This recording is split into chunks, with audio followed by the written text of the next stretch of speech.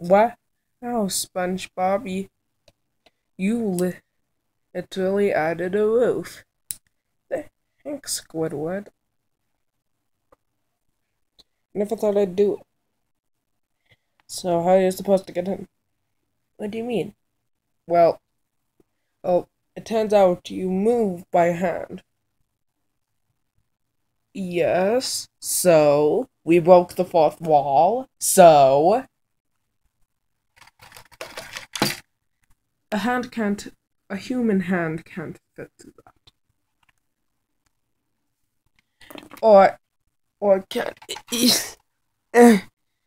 that's why they can only you go two blocks in, in here. Uh, so, better remove the thing. No, I work so, I, that I will never do so. I came in like a